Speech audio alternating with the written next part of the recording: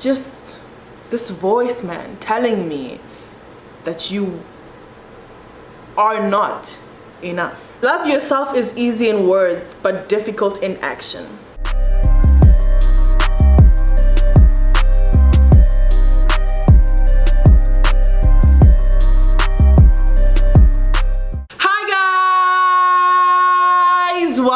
To my channel if you haven't subscribed yet then make sure that you click the subscribe button below and join the revolution. Let me just say my ring light is broken and I don't know where to get it fixed. And so every time I film I have to film at a place that'll allow me to get as much light as possible. And every time I sit down to film the sun decides alright I'ma head out. It decides to go away.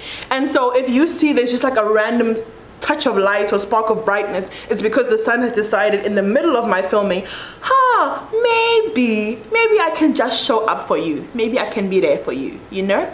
If I feel like it so I apologize for the change in light. If there are any videos that you guys want to see me do, please comment down below. If you have any questions about my life in America or my experience in America, comment down below. I'll be making a video about that when I gather enough questions.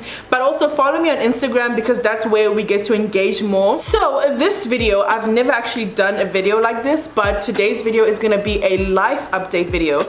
So the last video I did where I was talking about myself, I think it's the one where I was saying, oh my gosh, I'm about to be homeless in a foreign country country and my school wanted us to leave and blah blah blah. Um, and I think I made one where I expressed that we were allowed to stay but I don't think I made another one after that and I know some people were very curious. So life update video. So with regards to my living situation I was able to stay on campus thank god. My school decided that they were gonna let us stay. We're gonna have to pay $50 every week.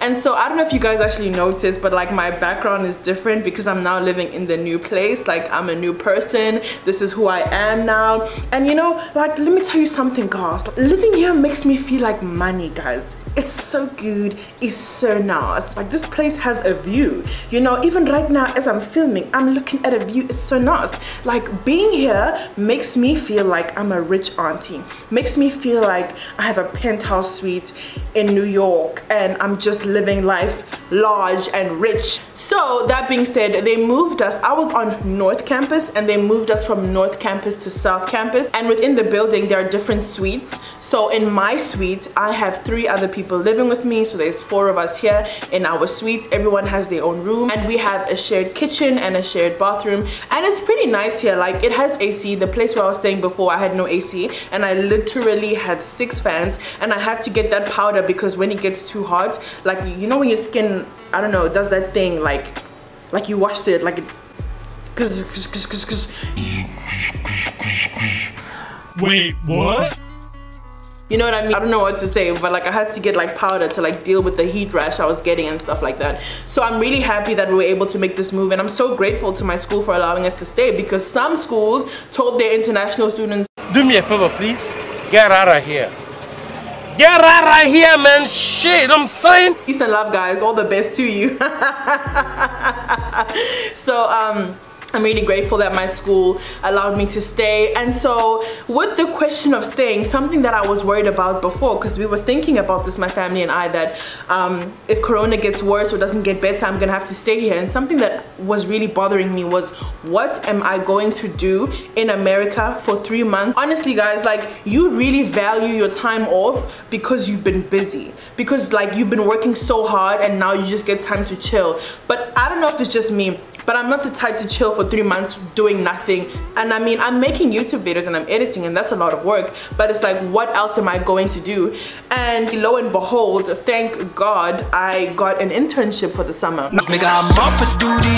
No cap at the pocket too deep. I'll pass on the ass and groupies I need my cash in the two seats. No time for the snake niggas in the grass can't move me. Crazy part is that once upon a time in my school in my school year like one day one day basically I was like you know it would be so cool if I were if I were able to do an internship in America. But I was like oh that, that's probably never gonna happen because I go home every summer so I probably won't get the opportunity to like do an internship. And I was like oh it would be so cool if I got the chance. But oh well. It is what it is. It is what it is. But lo and behold guys God is listening. Life and death is in the power of the tongue and those who love to talk will reap the consequences.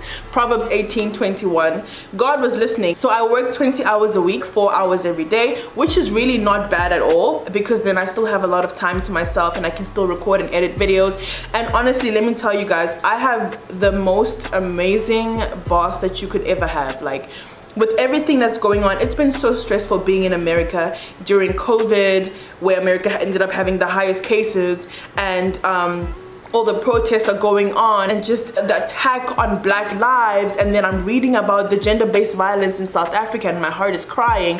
So it's been a, an emotional roller coaster. And my boss guys has been like take care of yourself if you need to. If you need something let me know. And she's been so supportive and of my videos and what I do and, and allows me to express myself. Her and another woman who I work with I'm not gonna say their names for privacy purposes but another woman who I work with as well like she's been so good to me guys she has opened up her home her family and she's actually the one that helped me get this internship like where I am right now is not something that I could have crafted with my own hands. It's honestly just God's grace. And what I learned from this whole situation is that when God takes you somewhere, He's already got a plan for you. He's already got it figured out. He will put people in your life that you need there. He will put the connections you need and you just have to do your part. You just have to walk into it. You just have to do the work that is needed to sustain you. But God has already made everything possible. And so my life right now has really just been a testament to that. So basically guys, I'm here in America. I've got a job. I'm making money. The girl is focused. The girl is working. The girl is motivated. I am a strong, independent black woman making my own money. I'm not making rich auntie money and I'm earning minimum wage but it's honestly so much better than nothing. Okay so outside of living and working you know there's pros and cons to everything and there are major pros to the situation that I'm in right now. But a con that I've been experiencing guys is I miss home. I miss my family. I am homesick I miss my country. Being alone in this time is difficult. You know, when COVID hit and the world started to get scary, a lot of my peers and people around me just wanted to be huddled up with their family be close with their family and people found themselves spending more time with their family and complaining that oh you know being at home all the time is a mess and I want to go back to res and blah blah blah but there was still that grateful element of I get to be with my family when times are tough you want to be surrounded by love you want to be surrounded by family. You don't want to be alone. You don't want to be stranded somewhere. And that's how I felt for the longest time and it's still kind of how I feel now. Is I wish I was with my family. There are days where I'm like, I wish like sometimes me and my dad would just go on a drive and he'd just talk and, and I miss going to sit with my mom. Like I'll just go jump on her bed and we just sit and we just talk. Like and just a hug, a hug from your mom, you know, and my brothers would be in my room annoying me and not going away. The things you complain about become the things that you miss, you know, and honestly, I really feel like more important than anything else in life is love and family. So that's been really hard for me. I really miss my family. I feel so lonely sometimes. I feel so sad sometimes. So I'm six hours behind South Africa. So there are times where I'm like feeling really anxious nervous or sad and I want to call my mom and I'm like oh she's probably sleeping or blah blah blah. And obviously your family will always be like call whenever you want and stuff but obviously you have to be considerate as a person. So yeah that's been really challenging. Something that I do appreciate though is a lot of people around me have been reaching out and I've been saying, you know, if you need anything, let me know. If you need someone to take you to the grocery store, let me know. If you need help with this, let me know. And that's been one of the most beautiful and humbling things I have experienced, guys. Another lesson that has been reinforced for me, and I've always known, but it's just been reinforced. I am because we are. As humans, we cannot live without each other. We need community. So my heart has really been touched by all the people that have been reaching out. Annoyingly so, I'm very annoyed by people who reach out and say, if you need anything, let me know. And then when it's time, when you want to ask them something, they're like, ooh, yeah, mm, ooh, uh. And it's like, listen, babe, don't offer. If you don't want, don't offer. You know what I mean? Because you look worse offering and not delivering than you do just not offering at all. And I just want everyone to remember and keep in mind that the opportunity to give, the opportunity to help is the opportunity to receive. Blessed is the hand that gives and the one that receives.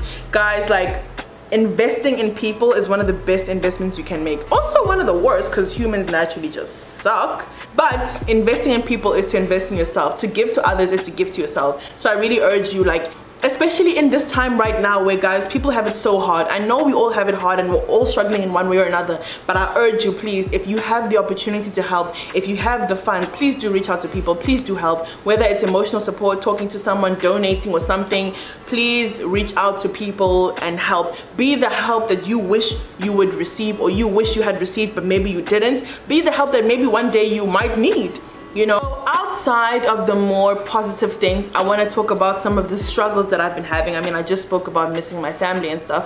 But apart from that i have definitely experienced increased anxiety and i don't want to call it depression or anything but i don't i don't think it is. But some sadness shall i say understandably with everything going on. There are some weeks some weeks have been horrible for me guys. There are some weeks where i didn't want to get out of bed there are some weeks where I just felt so anxious. I ended up feeling literally physically sick. And there are some weeks where I just don't want to eat. Like I don't want to eat at all. Even now like I have no appetite. I'm a lover of meat. Meat is a meal guys. A plate of meat is a meal. It's a complete it's a complete meal to me. That's how much I love meat. But as of late I can't stand it. Like meat I don't know. This is crazy but hear me out guys. Hear me out. Meat taste too much like meat lately. I don't know if that makes sense, but I can't stand the taste of meat. Cereal is annoying. If I eat any more bread, I'm gonna turn into bread itself. I don't know, man but my relationship with food has become really really tricky but there were weeks where I would feel so anxious and my heart would start beating so fast it felt like it wanted to jump out of my chest and this happened to me when I was in high school writing my final exams where I got so nervous and so anxious I felt sick my heart wanted to like pop out. I could not breathe. So I've been experiencing some of that lately. And I think it's a result of just just stress. And also I've been fighting with some insecurities as well. I got these stretch marks. I don't know if you guys can see but I have these stretch marks on my arm and on my belly. And like yo. Yo. Love yourself is easy in words but difficult in action. Like I think I'm gorgeous and I think my body's amazing and I you know like I mean obviously it's not perfect but I mean I, I, I could live with it. It's cool. I like it.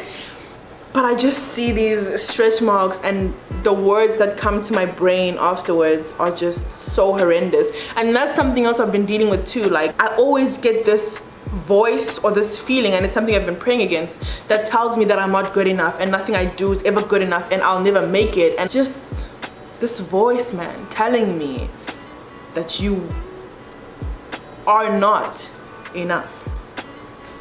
And I look at these stretch marks and it's like you are not know I got my grades back and your girl got all A's. You know the vibes. You know what it is. It is what it is. And I made the dean's list. And even in the midst of that celebration it's like yeah but you're still this and you're still that and you're not good enough and all your grades are good okay but what about this and what about that oh you think you're okay well where's your family and blah blah blah like it's crazy. It is so difficult, the things that I've been going through emotionally that I can't even express in words and I get tired of talking. Girl, I know you're lying. I know you're lying. Contrary to popular belief, especially when I'm in pain and I'm hurt, I don't feel like talking. And there are many weeks where I felt like I'm not gonna release a YouTube video because I'm tired. Like I, I don't wanna talk, I don't wanna do anything. I don't want to put myself out there. But i must say that prayer really does help me. Prayer fasting reading the bible really does help me. Listening to gospel music really does help me. When i would go through those anxiety attacks or